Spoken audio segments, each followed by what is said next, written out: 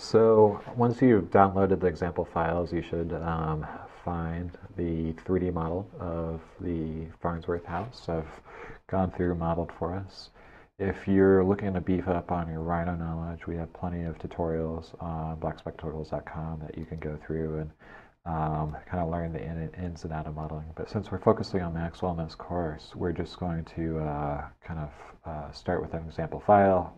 We're going to go through and apply materials, um, set up the scene, and set up the, the, uh, the, actual lights and environment and stuff like that. So um, just to make sure everything is working correctly, uh, we've assumed that you've been able to go through and install uh, Maxwell. Once you've been able to install Maxwell, um, you should on your, on your C drive or wherever you might have uh, located it, there'll be a Next Limit folder. Uh, Maxwell is uh, made by Next Limit.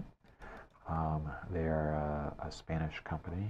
Um, right now, the current version is Maxwell 2. I know um, they're looking to update to Maxwell 3, or at least right now, at the time of this recording, Maxwell 2 is the most up-to-date version. Maxwell has kind of a number of components. So there is um, uh, this Maxwell.exe um, file, which is your, your Maxwell Studio, or, or let's say Maxwell renderer, I should say. Um, within the Maxwell kind of family, there is a product called Maxwell Studio. Uh, that's a kind of separate interface where you can actually go through model, set up cameras, set up your uh, rendering similar to what you do in Rhino. I know most people use Maxwell, typically use it as a plugin to um, some kind of 3D modeling software, whether that's 3ds Max, whether that's Revit, whether that's Rhino, um, whether that's SketchUp even. Um, you can go to the Maxwell website. They have uh, a ton of plugins that have been developed by their people, and um, and I think all the plugins kind of fall in a kind of very kind of similar format in the sense that they're all kind of referencing back to the same kind of inherent uh, framework that Maxwell set up. Um, so we're going to actually be using um, just the Maxwell uh, render engine, and so we're going to fire that up.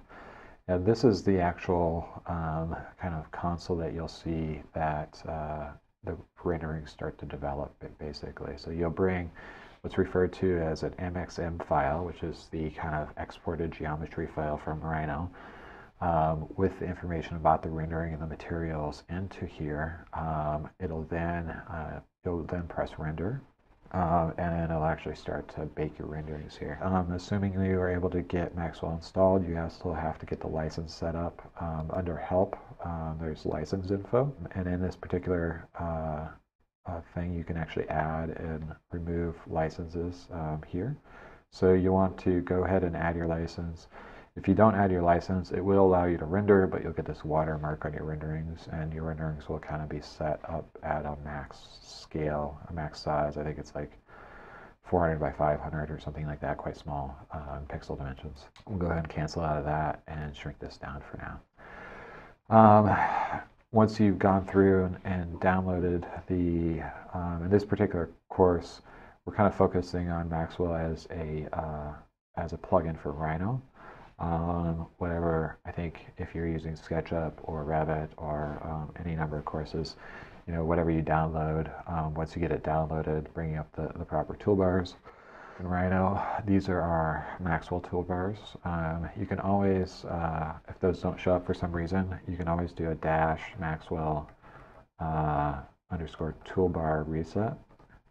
And basically what this will do is uh, if they weren't open or not showing up for some reason, that should bring up your Maxwell tools. Um, and you can always go back and dock your tools um, on the side here, um, similar to what I'm doing.